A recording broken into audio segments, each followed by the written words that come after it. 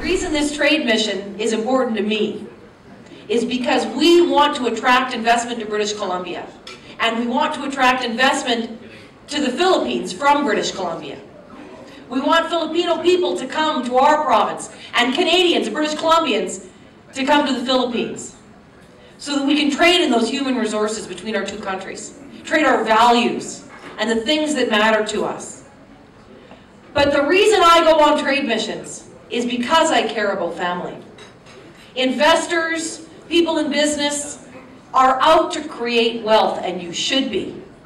And if you come to British Columbia to create wealth, we want you to be very successful. We want you to create a lot of wealth. This is a small world we live in today.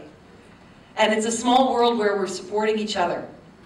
We have two great countries, and we have similar values.